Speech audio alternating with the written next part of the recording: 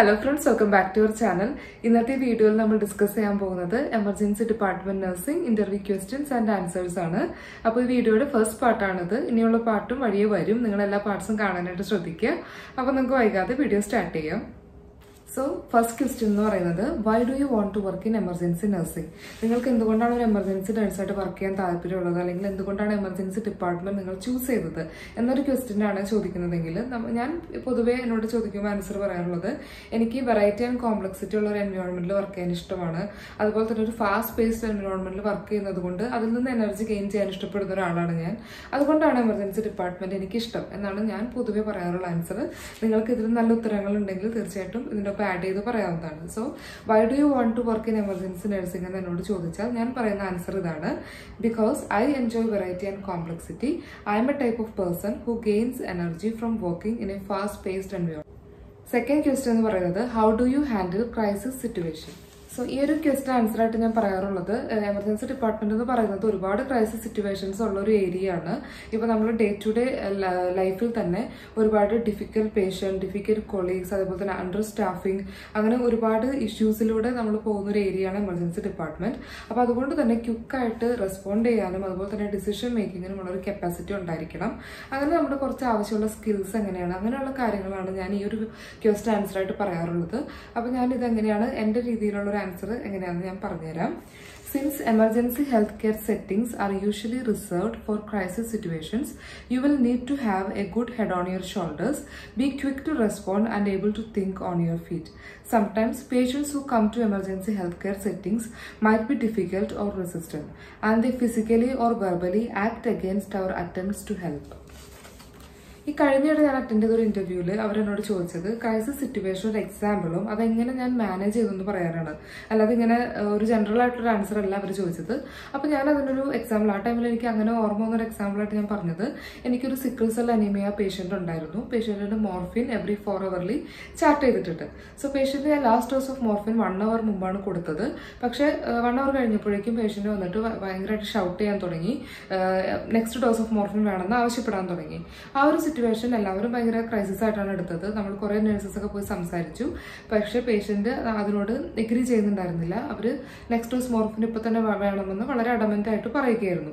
So ആ ഒരു സമയത്ത് ഞാൻ ചെന്നു. ചെന്നിട്ട് അവരോട് എന്താണ് പ്രശ്നമെന്ന് ചോദിച്ചു. അതിനുശേഷം അവർക്കൊരു കംഫർട്ടബിൾ സീറ്റ് കൊടുത്തു. അവർക്ക് പറയാനുള്ളത് മുഴുവൻ പേഷ്യന്റായിട്ട് ഒന്ന് കേട്ടു. അതോടുകൂടി അത് കഴിഞ്ഞതിന് ശേഷം അവരോട് ഞാൻ ട്രീറ്റ്മെന്റ് ഓപ്ഷൻസ് ഡിസ്കസ് ചെയ്തു. അതായത് പേഷ്യന്റിന്റെ എവറി ഫോർ അവറിലാണ് മോർഫിൻ ഉള്ളത്. ബട്ട് ഇൻ ബിറ്റ്വീൻ പെയിൻ ഉണ്ടെങ്കിൽ കൊടുക്കാനായിട്ട് പി ആർ എൻ ആയിട്ട് അനദർ പെയിൻ കില്ലേഴ്സ് ഉണ്ട്. സോ ഞാൻ പേഷ്യന്റിനോട് എക്സ്പ്ലെയിൻ ചെയ്തു. Okay for the time being ഞാൻ നിങ്ങൾക്ക് ആ പി ആർ എൻ ആയിട്ടുള്ള പെയിൻ കില്ലർ തരാം. അത് നിങ്ങൾ കഴിച്ചു നോക്കൂ. എന്നിട്ടും വേദന മാറിയില്ലെങ്കിൽ ബൈ ദ ടൈം നമുക്ക് അടുത്ത ഒരു ഡിസിഷൻ എടുക്കാം. അപ്പോഴേക്കും നെക്സ്റ്റ് മോർഫിന്റെ ഡോസ് ആയിക്കോളും. അപ്പോൾ പേഷ്യന്റ് ഏകദേശം ഒന്ന് കൺവിൻസ്ഡ് ആയി. അങ്ങനെ ഞാൻ അടുത്ത നെക്സ്റ്റ് ഒരു പെയിൻ കില്ലർ ഓഫർ ചെയ്തു. ആൻഡ് അത് കഴിച്ചപ്പോഴേക്കും പേഷ്യന്റ് സെറ്റിൽ ആയിരുന്നു. അപ്പോൾ ഇതൊരു ക്രൈസിസ് സിറ്റുവേഷൻ എക്സാമ്പിൾ ആണ്. അത് ഇതേ ആൻസർ തന്നെ നിങ്ങളോട്. ഇപ്പോൾ ഒരു ഡിഫിക്കൽട്ട് പേഷ്യന്റ് എങ്ങനെ ഹാൻഡിൽ ചെയ്തെന്ന് ചോദിച്ചിട്ടുണ്ടെങ്കിൽ പറയാം. അങ്ങനെ പല സിറ്റുവേഷൻസും ഈ ഒരു ആൻസർ വേണമെങ്കിൽ നിങ്ങൾക്ക് നിങ്ങളുടേതായിട്ട് പറയാം. പിന്നെ അതുപോലെ തന്നെ വേറൊരു ക്രൈസിസ് സിറ്റുവേഷൻ എക്സാമ്പിൾ ആയിട്ട് എന്നോട് ചോദിച്ചപ്പോൾ പറഞ്ഞിട്ടുള്ളത് അണ്ടർ സ്റ്റാഫിങ്ങിനെ ഞാൻ എങ്ങനെ മാനേജ് ചെയ്തു എന്നാണ്. അത് ഇനി അടുത്ത ക്വസ്റ്റൻ ആയിട്ട് വരുന്നുണ്ട്. അണ്ടർ സ്റ്റാഫിങ് എങ്ങനെ മാനേജ് ചെയ്യുന്നത് നിങ്ങൾക്ക് വേണമെങ്കിൽ ഈ ഒരു ക്വസ്റ്റിന്റെ ഉത്തരമായിട്ട് അണ്ടർ സ്റ്റാഫിങ് നിങ്ങൾ എങ്ങനെ മാനേജ് ചെയ്തു എന്നുള്ളൊരു കാര്യം വേണമെങ്കിൽ പറയാം. അത് ഇനി അടുത്ത ക്വസ്റ്റൻ ആണ്. അതുകൊണ്ട് ഞാൻ അതിപ്പോൾ എക്സ്പ്ലെയിൻ ചെയ്യുന്നില്ല. Why do you like emergency nursing അതാണ് നെക്സ്റ്റ് ക്വസ്റ്റ്യൻ അപ്പൊ നേരത്തെ നമ്മളൊരു ക്വസ്റ്റ്യൻ കണ്ടു. എന്തുകൊണ്ട് എമർജൻസി ഡിപ്പാർട്ട്മെന്റിൽ വർക്ക് ചെയ്യാൻ ആഗ്രഹിക്കുന്നു? അതേ ആൻസർ വേണമെങ്കിൽ നമുക്ക് ഇവിടെയും പറയാം. പക്ഷേ ഈ ക്വസ്റ്റ്യനിൽ ഞാൻ യൂഷ്വലി എന്നോട് ഇതിനൊരു ചോദ്യം ചോദിക്കുമ്പോൾ ഞാൻ പറയാറുള്ളത് മറ്റുള്ള യൂണിറ്റ്സിനുമായിട്ട് കമ്പയർ ചെയ്യുമ്പോൾ ഈ ഒരു എമർജൻസി ഡിപ്പാർട്ട്മെന്റിൽ വർക്ക് ചെയ്യുന്ന നഴ്സസിന് ക്വിക്കായിട്ട് ഡിസിഷൻ എടുക്കാനുള്ള ഒരു കപ്പാസിറ്റി ഉണ്ട്. അതേപോലെ തന്നെ first point of contact in the emergency room എന്ന് പറയുന്നത് ഒരു നഴ്സാണ് അതായത് പേഷ്യന്റ് രജിസ്റ്റർ ചെയ്തിട്ട് റിസപ്ഷനിൽ അവരുടെ പേര് രജിസ്റ്റർ ചെയ്തിട്ട് പിന്നെ വരുന്നത് ട്രയാജ് നഴ്സിന്റെ അടുത്തേക്കാണ്. സോ നമ്മളാണ് ഒരു ഫസ്റ്റ് പോയിന്റ് ഓഫ് കോണ്ടാക്ട് എന്ന് പറയുന്നത്. ഈ ഈ നഴ്സാണ് ട്രയാജ് നഴ്സാണ് ഒരു പേഷ്യന്റിനെ കാറ്റഗറൈസ് ചെയ്തിട്ട് ഇനി അവർക്ക് എന്ത് സംഭവിക്കണം ഇനി ആര് കാണണം എന്നുള്ള കാര്യങ്ങളെല്ലാം ഡിസൈഡ് ചെയ്യുന്നത്. ഈ ഒരു ഓട്ടോണമി മറ്റു നഴ്സിംഗ് ഡിപ്പാർട്ട്മെന്റ് മറ്റ് ഡിപ്പാർട്ട്മെന്റ്സിൽ വെച്ച് നോക്കുമ്പോൾ എമർജൻസി ഡിപ്പാർട്ട്മെന്റ് നഴ്സസിനുണ്ട് സോ ഈ ഒരു ഓട്ടോണമി ആണ് അതേപോലെ തന്നെ ഈ ഒരു ഡിസിഷൻ മേക്കിംഗ് കപ്പാസിറ്റിയുമാണ് എനിക്ക് ഈ എമർജൻസി ഡിപ്പാർട്ട്മെന്റിൽ ആസ് എ നഴ്സ് വർക്ക് ചെയ്യുന്നതിൽ ഏറ്റവും ഇഷ്ടം എന്നാണ് ഞാൻ ഈ ക്വസ്റ്റൻ ആൻസർ ആയിട്ട് പറയാറുള്ളത്. അപ്പൊ ഇങ്ങനെ കുറച്ച് ആൻസേഴ്സ് നിങ്ങൾ പഠിച്ചു വെക്കുക അപ്പൊ പല രീതിയിൽ ചോദ്യം വന്നാലും നിങ്ങൾക്ക് തിരിച്ചും മറിച്ചൊക്കെ ആയിട്ട് ഉത്തരം പറയാൻ പറ്റും. സോ അടുത്ത question how do you work as a nurse under pressure ഈ ക്വസ്റ്റ്യൻ ഞാൻ പലതവണ ഇന്റർവ്യൂ അറ്റൻഡ് ചെയ്തപ്പോഴും എന്നോട് തന്നെ ചോദിച്ചിട്ടുള്ളതാണ്. ഇത് എമർജൻസി ഡിപ്പാർട്ട്മെന്റ് നഴ്സസിനോട് മാത്രമല്ല ബാക്കി ഏത് ഡിപ്പാർട്ട്മെന്റിലുള്ള നഴ്സസ് ആണെങ്കിലും ഈ ക്വസ്റ്റ്യൻ ചോദിക്കാവുന്നതാണ്. പക്ഷേ എമർജൻസി ഡിപ്പാർട്ട്മെന്റിലാണ് ഇത് കുറച്ചും കൂടെ റെലവെന്റ് കാരണം ഏറ്റവും കൂടുതൽ മെന്റൽ പ്രഷർ അനുഭവിക്കുന്ന ഒരു ഏരിയ എന്ന് പറയുന്നത് എമർജൻസി ഡിപ്പാർട്ട്മെന്റ് തന്നെയാണ്.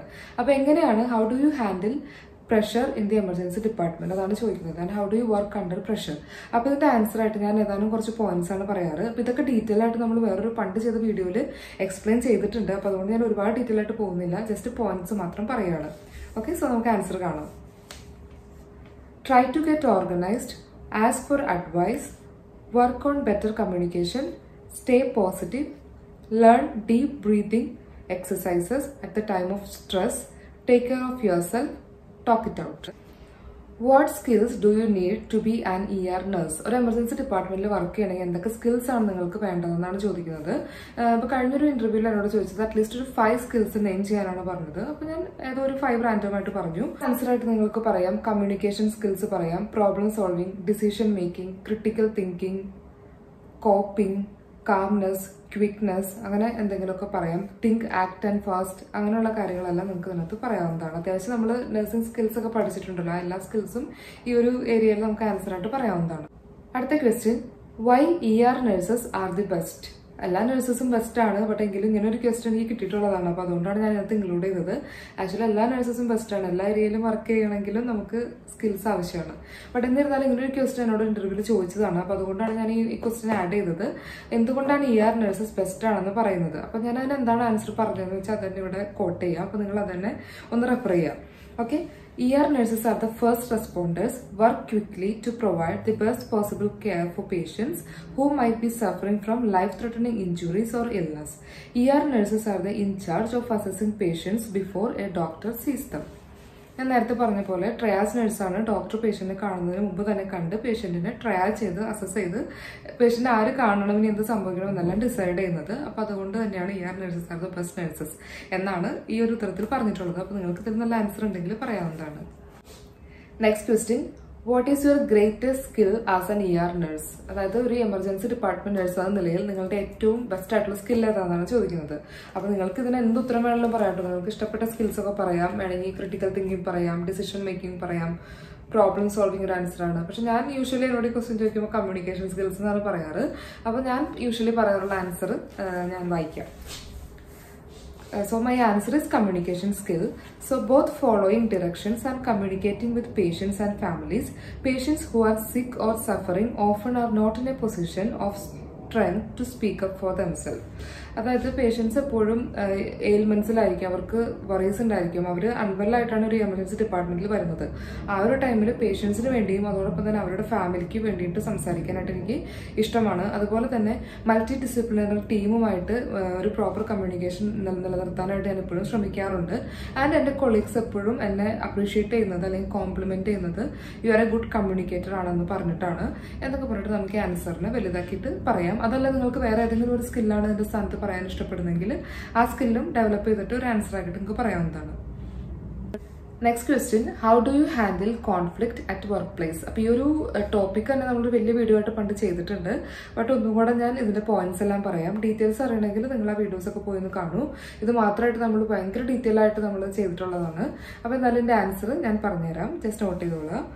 Talk with the other person focus on behaviour and events not on personalities listen carefully, identify points of agreement and disagreement, prioritize the areas of conflict, develop a plan to work on each conflict, follow through on your plan, build on your success. അപ്പോൾ ഇതാണ് അതിന്റെ step self explanatory ആണ് എന്തെങ്കിലും doubt ഉണ്ടെങ്കിൽ ഇതിനു മുമ്പ് നമ്മൾ ചെയ്ത വീഡിയോ തന്നെ ഒന്ന് റെഫർ ചെയ്ത് നോക്കാം അടുത്ത ക്വസ്റ്റ്യൻ വന്നിട്ട് nursing assessment and nursing documentation ആണ്. അപ്പോൾ ഈ ഒരു ക്വസ്റ്റ്യന്റെ ആൻസർ ആയിട്ട് ഒരു എന്റയർ വീഡിയോ അത് വലിയൊരു വീഡിയോ ആയിട്ടാണ് ഞാൻ ചെയ്തിരിക്കുന്നത്. ഞാൻ ഓൾറെഡി അത് അപ്ലോഡ് ചെയ്തിട്ടുണ്ട്. ഈ വീഡിയോ കാണുമ്പോഴേക്കും നിങ്ങൾ ഓൾറെഡി ആ വീഡിയോ അപ്ലോഡ് ആയി കാണും. സോ ആ വീഡിയോയിൽ ഞാൻ എക്സ്പ്ലെയിൻ ചെയ്തിട്ടുള്ളത് എ ടു ഇ അസസ്മെന്റ് അഥവാ A B C D E അസസ്മെന്റിനെ കുറിച്ചാണ്. അപ്പോൾ എങ്ങനെയാണ് നിങ്ങളൊരു എ അസസ്മെന്റ് പേഷ്യന്റ് എമർജൻസി ഡിപ്പാർട്ട്മെന്റിൽ വന്നു കഴിയുമ്പോൾ എന്ത് ക്രൈറ്റീരിയനെ ബേസ് ചെയ്തിട്ടാണ് നിങ്ങളുടെ അസസ്മെന്റ് ചെയ്യുന്നത് എന്നാണ് ചോദിക്കുന്നത്. അപ്പോൾ ആ ഒരു ഈ ഒരു ക്വസ്റ്റിന്റെ ആൻസർ ആ വീഡിയോയിൽ ഞാൻ പറഞ്ഞിട്ടുണ്ട്. പ്ലീസ് അതൊന്ന് റെഫർ ചെയ്ത് നോക്കാം കേട്ടോ. അപ്പോൾ എങ്ങനെ പേഷ്യന്റ് അസസ് ചെയ്യും എന്നോട് ചോദിക്കുമ്പോൾ ഞാൻ പറയാറുള്ളത് ഞാൻ basically A B C D E airway breathing circulation disability and exposure ആ ഒരു ഓർഡറിലാണ് ഞാൻ അസസ് ചെയ്യുന്നത് എന്നാണ് പറയാറ്. അതൊരു ഡീറ്റെയിൽ ആയിട്ട് ഞാൻ ആൻസർ ചെയ്യും. ഓക്കെ പിന്നെ എന്നോട് കഴിഞ്ഞൊരു ഇന്റർവ്യൂവിൽ ചോദിച്ചത് ഒരു ട്രോമ പേഷ്യന്റിനെ എങ്ങനെ അസസ് ചെയ്യുന്നതാണ് അപ്പോൾ അതിന്റെ ആൻസർ ആയിട്ട് ഞാൻ പറഞ്ഞത് ഈ A B C D E assessment in the context of a ട്രോമയിൽ എങ്ങനെ അസസ് ചെയ്യുന്നുള്ളതാണ് അതിന്റെ ആൻസർ ആയിട്ട് പറയുണ്ടായത് അപ്പോൾ ആ ഒരു വീഡിയോ റെഫർ ചെയ്യുകയാണെങ്കിൽ നിങ്ങൾക്ക് ഒരു ഡീറ്റെയിൽഡ് ആയിട്ട് ഇതിന്റെ ഒരു ആൻസർ പറയാനായിട്ട് സാധിക്കും. ഞാൻ അതിന്റെ ഉത്തരത്തിലേക്ക് പോകുന്നില്ല. Next question how to train and support new nurses അതായത് നമ്മുടെ എമർജൻസി ഡിപ്പാർട്ട്മെന്റിൽ പുതിയ നഴ്സസ് ജോയിൻ ചെയ്യുമ്പോൾ അവരെങ്ങനെയാണ് ട്രെയിൻ ചെയ്യാനും സപ്പോർട്ട് ചെയ്ത് അവർ വർക്ക് ചെയ്യാനായിട്ട് നമ്മൾ എങ്ങനെ ഹെൽപ്പ് ചെയ്യുന്നതാണ്. ഈ ക്വസ്റ്റ്യൻ വളരെ ഇമ്പോർട്ടന്റ് ആണ്. ഒരുപാട് ഇന്റർവ്യൂസിൽ ചോദിക്കുക റിപ്പീറ്റഡ് ആയിട്ട് ചോദിക്കുന്ന ഒരു ക്വസ്റ്റ്യൻ തന്നെയാണ്. അപ്പോൾ ഡയറക്റ്റ് തന്നെ ഇതിന്റെ ആൻസറിലേക്ക് ഞാൻ പോകാം. അപ്പോൾ ഇതിന്റെ ആൻസറായിട്ട് പറയാൻ പറ്റുന്ന പോയിന്റ്സ് താഴെ പറയുന്നു mentor a new nurse and provide a safe space for questions and guidance provide praise, show appreciation, help them to gain recognition for top performance, support new nurses during moments of overwhelming, practice empathy for new nursing challenges, be patient and positive when training, connect and encourage, give constructive criticism, share your own experience, stay open to feedback. അപ്പോൾ ഈ ഒരു points നിങ്ങൾ എഴുതിയെടുക്കുക. അതിനുശേഷം നിങ്ങൾ തന്നെ അതിനെ think ചെയ്ത് കഴിയുമ്പോൾ നിങ്ങൾക്ക് മനസ്സിലാവും. ഇനി കൂടുതൽ പോയിന്റ്സ് ഉണ്ടെങ്കിൽ ആഡ് ചെയ്തിട്ട് ആൻസർ ചെയ്യാവുന്നതാണ്. പക്ഷെ ഈ ഒരു ആൻസർ ഈ തോന്നുന്നു എല്ലാ പോയിന്റ്സും കവർ ചെയ്തിട്ടുണ്ടെന്നാണ് എനിക്ക് തോന്നുന്നത്. സോ നമുക്ക് നെക്സ്റ്റ് ക്വസ്റ്റ്യൻ കാണാം. How do you assess new nurses അതാണ് അടുത്ത ക്വസ്റ്റ്യൻ വന്നിട്ടുള്ളത്. അതായത് ഇപ്പോൾ നമ്മൾ എമർജൻസി ഡിപ്പാർട്ട്മെന്റിൽ വർക്ക് ചെയ്യുമ്പോൾ ചില സമയങ്ങളിൽ നമുക്കൊരു പ്രിസെപ്റ്റർ അല്ലെങ്കിൽ മെന്റർ ഒക്കെ ആയിട്ട് ആക്ട് ചെയ്യേണ്ടതായിട്ട് വരും. ആ ഒരു സാഹചര്യത്തിൽ നിങ്ങൾ എന്ത് ക്രൈറ്റീരിയ വെച്ചിട്ടാണ് ഒരു ന്യൂ നേഴ്സിനെ അസസ് ചെയ്യുന്നതെന്നാണ് ചോദിച്ചിട്ടുള്ളത്. അപ്പോൾ അതിന്റെ ആൻസർ എനിക്ക് പണ്ടൊരിക്കലും ഇങ്ങനെ ഒരു ഇന്റർവ്യൂവിൽ ക്വസ്റ്റ്യൻ ചോദിച്ചിരുന്നു. അപ്പോൾ അത് ഭയങ്കര ഡിഫിക്കൽട്ട് ആയിട്ടൊരു ക്വസ്റ്റ്യൻ ആയിട്ടാണ് തോന്നിയത്. പിന്നീട് അതിന്റെ ആൻസർ എനിക്ക് കണ്ടുപിടിക്കാൻ പറ്റി. സോ അവർ ഉദ്ദേശിക്കുന്ന ആൻസർ എന്ന് പറയുന്നത് മെയിൻലി ത്രീ ക്രൈറ്റീരിയാസിനെ ബേസ് ചെയ്തിട്ടാണ് നമ്മളൊരു ന്യൂ നേഴ്സിനെ അസസ് ചെയ്യുന്നത്. First one is clinical competency situational competency and behavioural competency അങ്ങനെ ഈ മൂന്ന് ക്രൈറ്റീരിയാസിന് ബേസ് ചെയ്തിട്ടാണ് ന്യൂ നഴ്സസിനെ നമ്മൾ അസസ് ചെയ്യുന്നത്. അടുത്ത question one of the most important questions in emergency department interviews ആണ്. അതായത് എമർജൻസി ഡിപ്പാർട്ട്മെന്റിൽ വർക്ക് ചെയ്തിട്ടുള്ളവർക്ക് അറിയാം ഏറ്റവും കൂടുതൽ നമ്മൾ കൺഫ്രണ്ട് ചെയ്യുന്ന ഇഷ്യൂ ആണ് അണ്ടർ സ്റ്റാഫിംഗ് അതുപോലെ തന്നെ വർക്കിംഗ് അണ്ടർ പ്രഷർ ഈ രണ്ട് ക്വസ്റ്റ്യൻസ് എല്ലാ ഇന്റർവ്യൂവിലും മസ്റ്റ് ആയിട്ടും ചോദിക്കുന്നതാണ്. വളരെ ഫേമസ് ആയിട്ടുള്ള ഇന്റർവ്യൂ ക്വസ്റ്റ്യൻ തന്നെയാണ്. സോ നെക്സ്റ്റ് ക്വസ്റ്റ്യൻ എന്ന് പറയുന്നത് how do you deal with under staffing അപ്പോൾ അതിന്റെ ആൻസർ ഡയറക്റ്റ് ആയിട്ട് നമുക്ക് ആൻസറിലേക്ക് കടക്കാം. സോ അതിന്റെ പോയിന്റ്സ് പറയാം. Prioritise your assignments organise your work load be a team player, recruit additional talents, communicate effectively and nicely so that everyone knows the plan for surviving staff shortage, inform CNM, they will be able to call in staff, office overtime, reallocate staff and call staff from agency. Encourage family participation without mentioning the staff shortage, for example, assisting with the meals and be sure to thank them and take care of yourself, maintain positive attitude, approach situation with a positive and can do attitude അടുത്ത question എന്ന് പറയുന്നത് how to stay current in nursing practice ഇതും ഭയങ്കര famous question ആണ്. അതിപ്പോൾ emergency ഡിപ്പാർട്ട്മെന്റിൽ നിന്നല്ല അത്യാവശ്യം എല്ലാ നഴ്സിംഗ് ഇന്റർവ്യൂസിലും ചോദിക്കുന്ന ഒരു ക്വസ്റ്റ്യൻ ആണ്. സോ അതിന്റെ ആൻസേഴ്സ് നമുക്ക് നോക്കാം. അതായത് എങ്ങനെയാണ് നമ്മൾ നഴ്സിംഗ് പ്രാക്ടീസിൽ അപ്ഡേറ്റഡ് ആയിട്ട് ഇരിക്കുന്നതെന്നാണ് ഈ ക്വസ്റ്റ്യൻ ഉദ്ദേശിക്കുന്നത്. So attend conferences and webinars subscribe to professional journals. join committees, especially those work on policies and procedures, acquire professional certifications in areas of interest, read online journals, blogs, and professional news outlets, pursue additional certifications. അപ്പോൾ ഇങ്ങനെയൊക്കെയാണ് നമ്മുടെ പ്രൊഫഷനിൽ നമുക്ക് updated ആയിട്ടിരിക്കാനായിട്ട് സാധിക്കുന്നത്. So next questions ആയിട്ട് വളരെ frequent ആയിട്ട് ചോദിക്കുന്നത് medication management related ആണ്. അതുപോലെ തന്നെ എം ഡി എ ഡ്രഗ്സ് എങ്ങനെ ഹാൻഡിൽ ചെയ്യും തുടങ്ങിയ ക്വസ്റ്റ്യൻസ് ആണ്. അപ്പോൾ മെഡിക്കേഷൻ മാനേജിനെ പറ്റിയിട്ട് നമ്മൾ വളരെ ഡീറ്റെയിൽ ആയിട്ടൊരു വീഡിയോ ചെയ്തിട്ടുണ്ട്. അത് ഏത് നഴ്സസ് ആണെങ്കിലും അയർലൻഡ് ഇന്റർവ്യൂസിന് വരുന്നവരാണെങ്കിലും മസ്റ്റ് ആയിട്ടും ആ ഒരു വീഡിയോ വാച്ച് ചെയ്തിരിക്കണം. കാരണം ഒരു മൂന്ന് ക്വസ്റ്റ്യൻ എങ്കിലും മിനിമം നിങ്ങൾക്ക് അതിൽ നിന്ന് കിട്ടും. മാത്രമല്ല ഇവിടെ വന്നതിന് ശേഷവും ആ ഒരു ടോപ്പിക്ക് അറിഞ്ഞിരിക്കുക എന്ന് പറയുന്നത് നമ്മുടെ പിൻ നമ്പർ എന്നെ പ്രൊട്ടക്ട് ചെയ്യാൻ വേണ്ടിയിട്ട് അത് ഹെൽപ്പ് ചെയ്യും. സോ മെഡിക്കേഷൻ മാനേജ്മെന്റ് റിലേറ്റഡ് ആയിട്ട് ക്വസ്റ്റ്യൻസ് വരുന്നത്. മെഡിക്കേഷൻ എറർ വന്നാൽ എന്തൊക്കെ ചെയ്യും? അതുപോലെ തന്നെ എം ഡി എ ഡ്രഗ്സിന്റെ സ്റ്റോറേജ് എങ്ങനെയാണ്? തുടങ്ങിയ കാര്യങ്ങളാണ് ചോദിക്കുക. അപ്പോൾ ആ ഒരു വീഡിയോ റെഫർ ചെയ്യാനായിട്ട് ശ്രദ്ധിക്കുക. ഞാൻ വീണ്ടും റിപ്പീറ്റ് ചെയ്യുന്നില്ല. ആൻസർ ഇനി അടുത്തൊരു ഇമ്പോർട്ടന്റ് ആയിട്ടുള്ള ടോപ്പിക് എന്ന് പറയുന്നത് സെപ്സിസ് ആണ്. സെപ്സിസിൽ നിന്ന് ഒത്തിരി ക്വസ്റ്റ്യൻസ് എമർജൻസി ഡിപ്പാർട്ട്മെന്റ് ഇന്റർവ്യൂസിൽ വരാറുണ്ട്. അപ്പോൾ കഴിഞ്ഞ ഇന്റർവ്യൂവിൽ എന്നോട് അത്യാവശ്യം സെപ്സിസിൽ നന്നായിട്ട് ക്വസ്റ്റ്യൻ ചോദിച്ചിരുന്നു. എങ്കിലും അതിൽ വളരെ പർട്ടിക്കുലർ ആയിട്ട് അവർ ചോദിച്ചത്. Give three and take three എന്ന് പറഞ്ഞിട്ട് സെപ്സിസിൽ ഒരു സംഭവമുണ്ട്. സെപ്സിസിന്റെ വീഡിയോ നമ്മൾ ചെയ്തിട്ടുണ്ട് ഡീറ്റെയിൽ ആയിട്ട്. അയർലൻഡ് എച്ച് എസ് സി പ്രോട്ടോകോളിൽ എങ്ങനെയാണ് അത് മാനേജ് ചെയ്യുന്നതെന്നുള്ളത്. അപ്പോൾ ആ വീഡിയോ ഫുൾ കണ്ടിരിക്കുന്നവരാണെങ്കിൽ ഇപ്പോൾ ഇതിന്റെ ആൻസർ അറിയാൻ പറ്റും. ഗിവ് ത്രീ ടേക്ക് ത്രീ എന്നാണ് പറയുന്നത്. സോ ടേക്ക് ത്രീയിൽ വരുന്നത് ഒന്നാമത്തെയാണ് F P C and lactate അതേപോലെ തന്നെ appropriate cultures and urine output hourly give ത്രീയിൽ വരുന്നതാണ് oxygen I V fluids and I V antibiotics അപ്പോൾ ഇത് എന്നോട് സ്പെഷ്യലായിട്ട് എടുത്ത് ചോദിച്ചിട്ടുണ്ട്. അതോടൊപ്പം തന്നെ സെപ്സിസ് റിലേറ്റഡ് ഒരുപാട് ക്വസ്റ്റ്യൻ ഉണ്ട്. അപ്പോൾ സെപ്സിസിന്റെ വീഡിയോ കണ്ടിട്ടില്ലെങ്കിൽ അത് ഒരുപാട് പേര് വാച്ച് ചെയ്തൊരു വീഡിയോ ആണ് നമ്മുടെ. ആ വീഡിയോന്റെ ലിങ്കും താഴെ ഡിസ്ക്രിപ്ഷനിൽ കൊടുക്കാം. അതും വാച്ച് ചെയ്യുക. ബിക്കോസ് എമർജൻസി ഡിപ്പാർട്ട്മെന്റിൽ സെപ്സിസ് എന്ന് പറയുന്നത് വളരെ ഇമ്പോർട്ടന്റ് ആയിട്ടുള്ള ഒരു ടോപ്പിക് തന്നെയാണ്. പഠിച്ചിരിക്കണം. അപ്പോൾ അത് ഞാൻ ലിങ്ക് ചെയ്യാൻ താഴെ ഡിസ്ക്രിപ്ഷനിൽ സോ അടുത്ത question what are the challenges as an E R nurse അപ്പൊ എന്തൊക്കെ ചാലഞ്ചസ് ആണ് നമ്മളൊരു ഇ ആർ നഴ്സ് എന്ന നിലയിൽ ഡേ ടു ഡേ വർക്ക് ലൈഫിൽ എക്സ്പീരിയൻസ് ചെയ്യുന്നതാണ് ചോദിക്കുന്നത് അപ്പൊ അതിന്റെ ആൻസർ പോയിന്റ്സ് ആയിട്ട് നമുക്ക് പറഞ്ഞാൽ മതി ഒരുപാട് എക്സ്പ്ലെയിൻ ചെയ്യണമെന്നില്ല. സോ ആൻസറിലേക്ക് കിടക്കാം. Challenges as an E R nurse working under pressure coping with death long working hours difficult patient short staffing patient flow ഇത്രയാണ് ഒരു ചലഞ്ചസ് ആയിട്ട് എനിക്ക് ഫീൽ ചെയ്തതായിട്ട് ഞാൻ പറയാറുള്ളത്. നിങ്ങൾക്ക് ഏതെങ്കിലും പേഴ്സണലി നിങ്ങൾക്ക് വേറെ ആൻസേഴ്സ് ഉണ്ടെങ്കിൽ അത് പറയാവുന്നതാണ്. അടുത്ത question how you remain motivated committed and have completed a task against considerable obstacles അപ്പോൾ അതിന് അവർ ചോദിക്കുന്നത് നമ്മൾ ഒരുപാട് ഒബ്സ്റ്റക്കിൾസ് ഉണ്ടായിട്ടും നമ്മൾ അക്കംപ്ലിഷ് ചെയ്തൊരു ടാസ്കിനെ എക്സ്പ്ലെയിൻ ചെയ്യാനാണ്. ഈ ഒരു ക്വസ്റ്റ്യന്റെ ലാസ്റ്റ് അറ്റൻഡ് ചെയ്തത് ഒരു ത്രീ ഇയേഴ്സ് മുമ്പാണ് ഞാൻ ഇന്റർവ്യൂ അറ്റൻഡ് ചെയ്തത് ലാസ്റ്റ് ആയിട്ട്. ആ ഇന്റർവ്യൂ എന്നോട് ചോദിച്ചിരുന്നു. അപ്പോൾ എനിക്ക് ആ സമയത്ത് പെട്ടെന്ന് മനസ്സിലേക്ക് ഓടി വന്ന ഒരു എക്സാമ്പിൾ എന്ന് പറയുന്നത് ഇതായിരുന്നു. അപ്പോൾ ഞാൻ അതാണ് എന്റെ ആൻസറായിട്ട് പറഞ്ഞത്. നിങ്ങൾക്ക് നിങ്ങളുടെ വർക്ക് എക്സ്പീരിയൻസിൽ നിന്ന് പറ്റുന്ന ഒരു എക്സാമ്പിൾ വേണമെങ്കിൽ പറയാം. ഒരു ഉദാഹരണമാണ് ഞാൻ പറയാൻ ഉദ്ദേശിക്കുന്നത്. അപ്പോൾ ഞാൻ ഇങ്ങനെയാണ് പറഞ്ഞത്. ഞാൻ റെസിസിറ്റേഷൻ ഏരിയയിലായിരുന്നു വർക്ക് ചെയ്തിരുന്നത്. അത് ഞാൻ മാത്രമായിരുന്നു അവിടെ ഒരു സ്റ്റാഫ് ഉണ്ടായിരുന്നത്. ഞങ്ങൾക്ക് അണ്ടർ സ്റ്റാഫിംഗ് ആയിരുന്നു അന്നത്തെ ദിവസം. And we were so busy അങ്ങനെ ഇരുന്ന സമയത്താണ് ഞങ്ങൾക്കൊരു കോൾ കിട്ടിയത് ആംബുലൻസ് ടീമിൽ നിന്ന് അതായത് ഒരു ട്രോമ ഒരു മേജർ ട്രോമ കേസ് വരുന്നുണ്ടെന്ന്. അപ്പോൾ ആ ഒരു ടൈമിൽ ഞങ്ങൾക്ക് അത്യാവശ്യം പാനിക്കിംഗ് ആയിട്ടൊരു സിറ്റുവേഷൻ ആയിരുന്നു. ബിക്കോസ് അണ്ടർ സ്റ്റാഫാണ് ഇനഫ് സ്കിൽസ് ഇല്ല. അപ്പോൾ അങ്ങനെയൊക്കെയുള്ള കുറേ പ്രശ്നങ്ങളുണ്ട്. അപ്പം നമ്മൾ എന്താ ചെയ്തതെന്ന് വെച്ചാൽ എല്ലാ സോണിൽ നിന്നും ട്രോമയിൽ എക്സ്പീരിയൻസ്ഡ് ആയിട്ടുള്ള സ്റ്റാഫ്സിനെ വിളിച്ചു. Then I formed a team അങ്ങനെ നമ്മൾ അത്യാവശ്യം ഹെൽത്ത് കെയർ അസിസ്റ്റൻസിനെ ഒക്കെ വിളിച്ചു. അതുപോലെ തന്നെ നമ്മുടെ ഡോക്ടർ ഓൺ ഡ്യൂട്ടീനെ നമ്മൾ ഇൻഫോം ചെയ്തു. അങ്ങനെ നമ്മളൊരു ടീം ഫോം ചെയ്തതിന് ശേഷം ആരൊക്കെ എന്തൊക്കെ ഡ്യൂട്ടി ചെയ്യേണ്ടതെന്ന് ഡെലിഗേറ്റ് ചെയ്തു. സോ എല്ലാവർക്കും അവരവരുടെ റോൾ എന്താണെന്ന് അറിയാമായിരുന്നു. So by the time trauma patient arrive ചെയ്തപ്പോഴേക്കും എല്ലാവർക്കും അവരവരുടെ റോൾ വ്യക്തമായി നേരത്തെ അറിയാം. അതുകൊണ്ട് തന്നെ പെട്ടെന്ന് തന്നെ എല്ലാവരും അവരവരുടെ ജോലികൾ ചെയ്യുകയും ആ പേഷ്യന്റിനെ സ്റ്റെബിലൈസ് ചെയ്ത് നമ്മൾ പിന്നീട് ഐ സിയുലേക്ക് ട്രാൻസ്ഫർ ചെയ്യുകയും ചെയ്തു. അപ്പോൾ അതൊരു വലിയൊരു അക്കംപ്ലിഷ്മെന്റ് ആയിട്ട് എനിക്ക് തോന്നി. കാര്യം ഒരുപാട് ഒബ്സ്റ്റക്കിൾസ് ഉണ്ടായിരുന്നു. അണ്ടർ സ്റ്റാഫിംഗ് ഉണ്ട്. അത്യാവശ്യം സ്കിൽഫുൾ ആയിട്ടുള്ള സ്റ്റാഫ് നമുക്ക് ഉണ്ടായിരുന്നില്ല ബട്ട് എന്നിരുന്നാൽ പോലും നമ്മൾ ആ ഒരു സിറ്റുവേഷൻ നന്നായിട്ട് മാനേജ് ചെയ്തു. ഇതാണ് ഞാൻ അതിന്റെ ആൻസറായിട്ട് പറഞ്ഞത്. നിങ്ങൾക്ക് ഇത്തിരി നല്ല എക്സാമ്പിൾസ് ഉണ്ടായിരിക്കാം. അപ്പോൾ അത് പറയാവുന്നതാണ്.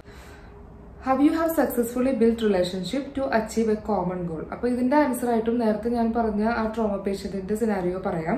കാരണം അതിലും ഒരു കോമൺ ഗോളിന് വേണ്ടിയിട്ട് നമ്മൾ ഒരുപാട് ആളുകൾ അതായത് ഡോക്ടർ ഹെൽത്ത് കെയർ അസിസ്റ്റൻസ് അതുപോലെ തന്നെ x-ray and M R I അതായത് റേഡിയോളജി ഡിപ്പാർട്ട്മെന്റ് അതുപോലെ തന്നെ നഴ്സസിനൊക്കെ നമ്മൾ ഗ്രൂപ്പ് ചെയ്ത് എല്ലാവർക്കും അവരവരുടെ ജോലി ഡെലിഗേറ്റ് ചെയ്ത് കൊടുത്തിട്ടാണ് ആ ഒരു ഗോൾ അക്കംപ്ലിഷ് ചെയ്ത് പേഷ്യന്റിനെ സ്റ്റെബിലൈസ് ചെയ്തത്. അപ്പോൾ ആ ഒരു എക്സാമ്പിൾ പറയാം. അതല്ലെങ്കിൽ ഇതുപോലെയുള്ള നിങ്ങൾക്ക് നിങ്ങളുടെ എക്സ്പീരിയൻസിൽ നിന്നുള്ള എക്സാമ്പിളും ഈ പറഞ്ഞ ക്വസ്റ്റിന് ആൻസർ ആയിട്ട് പറയാവുന്നതാണ്.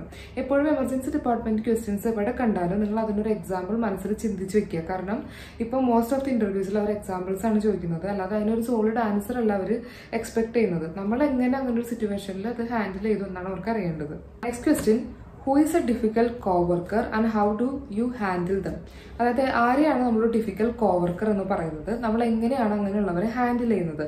ഈ ക്വസ്റ്റ്യനും എനിക്ക് കിട്ടിയത് ഡയറക്ടർ ക്വസ്റ്റ്യൻ ആയിട്ടല്ല. പക്ഷെ എന്നോട് ഇങ്ങനെയാണ് ചോദിച്ചത്. വർക്ക് പ്ലേസിൽ ഉണ്ടായിരുന്ന ഒരു ചലഞ്ചിനെ നീ എങ്ങനെ ഓവർകം ചെയ്തു എന്ന് ചോദിച്ചപ്പോൾ അതിന്റെ ആൻസറായിട്ട് ഞാൻ പറഞ്ഞത് ഈ ഒരു ഡിഫിക്കൽട്ട് കോവർക്കറിനെ ഹാൻഡിൽ ചെയ്തൊരു എക്സാമ്പിൾ ആയിരുന്നു.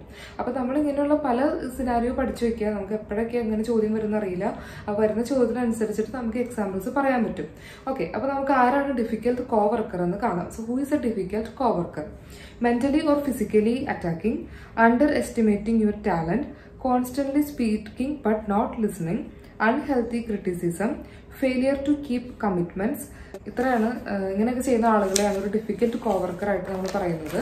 അപ്പം ഇനി ഇതിലധികം എന്തെങ്കിലും ഉത്തരങ്ങളുണ്ടെങ്കിൽ നമുക്ക് ആഡ് ചെയ്യാം. സോ എങ്ങനെ നമുക്ക് മാനേജ് ചെയ്യാൻ പറ്റുമെന്ന് നോക്കാം. So options are stay cool confront coworker kill them with kindness build rapport address the issue follow up after initial discussion talk to C N M if needed okay kill with kindness എന്നുള്ള ഒരു point ഉദ്ദേശിക്കുന്നത് നമ്മൾ അഗ്രസീവായിട്ട് അവരോട് deal ചെയ്യാതെ വളരെ polite ആയിട്ട് issue address ചെയ്യാനായിട്ട് ശ്രമിക്കും. Next question difficult patient or family എങ്ങനെ മാനേജ് ചെയ്യുന്നതാണ്. ഇതൊക്കെ നമ്മൾ പണ്ട് ഡിസ്കസ് ചെയ്തിട്ട് ആയതുകൊണ്ടാണ് ഞാൻ വളരെ റഫായിട്ടാണ് പറഞ്ഞു പോകുന്നത്. പോയിന്റ്സ് മാത്രമേ പറയുന്നുള്ളൂ. നിങ്ങൾക്ക് ഡീറ്റെയിൽ ആയിട്ടൊരു എക്സ്പ്ലനേഷൻ വേണമെങ്കിൽ ഞാൻ നേരത്തെ പറഞ്ഞ പോലെ please go and watch our previous videos അപ്പോൾ എങ്ങനെയാണ് ഡിഫിക്കൽട്ട് പേഷ്യന്റ് ഓർ ഫാമിലിനെ ഹാൻഡിൽ ചെയ്യുന്നത് നോക്കാം. Remain calm listen carefully be empathetic avoid arguing simply apologise set boundaries and if needed അവർക്ക് കംപ്ലൈന്റ് ചെയ്യണമെന്ന് പറയുകയാണെങ്കിൽ എക്സ്പ്ലെയിൻ അബൌട്ട് കംപ്ലൈന്റ് പോളിസി അതുകൂടി അതിന്റെ ലാസ്റ്റ് ആഡ് ചെയ്യാവുന്ന ഒരു പോയിന്റ് ആണ് so next question you are a C N M and how do you manage job related stress in your staff അതായത് സ്റ്റാഫിൽ ജോബ് റിലേറ്റഡ് ആയിട്ടുള്ള സ്ട്രെസ്സിനെ നിങ്ങളൊരു സി എൻ എം ആണെങ്കിൽ അതൊരു ചാർജ് നേഴ്സ് ആണെങ്കിൽ എങ്ങനെ മാനേജ് ചെയ്യുന്നതാണ് ചോദിക്കുന്നത്. സോ അതിന്റെ ആൻസേഴ്സ് ഞാൻ പോയിന്റ്സ് ആയിട്ട് പറയാം.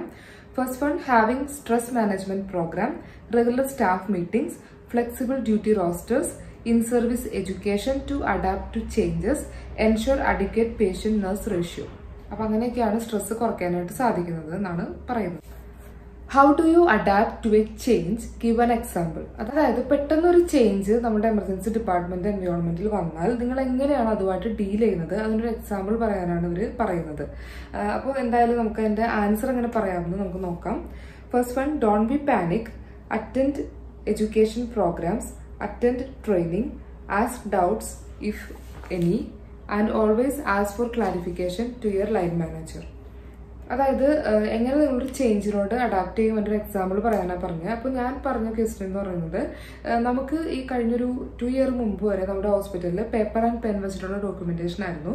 സഡൻലി പെട്ടെന്ന് കമ്പ്യൂട്ടറൈസ്ഡ് ഡോക്യുമെന്റേഷൻ വന്നു. അതായത് ഇലക്ട്രോണിക് പേഷ്യന്റ് റെക്കോർഡിംഗ് അഥവാ ഇ പി ആർ എന്നാണ് നമ്മൾ അതിനെ വിളിക്കുന്നത്. അപ്പോൾ സഡൻലി ഇ പി ആർ വന്നു കഴിഞ്ഞപ്പോൾ അതൊരു ചേഞ്ച് ആണല്ലോ. സോ ഞാൻ ആ സിറ്റുവേഷൻ ആണ് പറഞ്ഞത്. അതായത് ഞങ്ങളുടെ ഹോസ്പിറ്റലിൽ പെട്ടെന്ന് ഇങ്ങനെ ഇലക്ട്രോണിക് പേഷ്യന്റ് റെക്കോർഡിംഗ് വന്നു. സോ അതൊരു ഒരു ചേഞ്ച് ആയിരുന്നു. സോ ഞാൻ അതിനോട് അഡാപ്റ്റ് ആവാൻ വേണ്ടിയിട്ട് ഞാൻ ആദ്യം ചെയ്തത് ഞാൻ പാനിക് ആയില്ല. പകരം ഇ പി ആർ ട്രെയിനിങ് എന്തെങ്കിലും പ്രൊവൈഡ് ചെയ്യുന്നുണ്ടോ എന്ന് അന്വേഷിച്ചപ്പോൾ നമ്മുടെ ഹോസ്പിറ്റലിൽ ഇ പി ആറിന്റെ ട്രെയിനിങ് പ്രൊവൈഡ് ചെയ്യുന്നുണ്ട്. സോ ഞാൻ പോയിട്ട് ആ സെഷൻ അറ്റൻഡ് ചെയ്തു. അത് അറ്റൻഡ് ചെയ്തതിന് ശേഷം ഞാൻ വന്നിട്ട് ഇത് പ്രാക്ടീസ് ചെയ്യാൻ തുടങ്ങി. ഇൻ ബിറ്റ്വീൻ എനിക്ക് ഡൗട്ട്സ് ഉണ്ടായപ്പോൾ ഞാൻ എന്റെ ചാർജ് നഴ്സിനോട് അല്ലെങ്കിൽ ലൈൻ മാനേജറോട് ചോദിച്ചിട്ട് അത് ക്ലിയർ ചെയ്ത് ഫൈനലി ഞാൻ അതിനകത്ത് ആ ഒരു ചേഞ്ചുമായിട്ട് ഞാൻ നല്ല രീതിയിൽ തന്നെ അഡാപ്റ്റ് ചെയ്തു. അതൊരു എക്സാമ്പിളാണ് അപ്പോൾ നിങ്ങൾക്ക് വേറെ എന്തെങ്കിലും എക്സാമ്പിൾസ് ഉണ്ടെങ്കിൽ നിങ്ങളുടേതായിട്ട് പറയാവുന്നതാണ്. സോ ഈ ഒരു വീഡിയോ ഫസ്റ്റ് പാർട്ടാണ് നമ്മൾ ഇവിടെ സ്റ്റോപ്പ് ചെയ്യാണ്. അപ്പോൾ ഈ ക്വസ്റ്റ്യൻസ് ഹെൽപ്ഫുൾ ആയി ഞാൻ വിചാരിക്കുന്നു.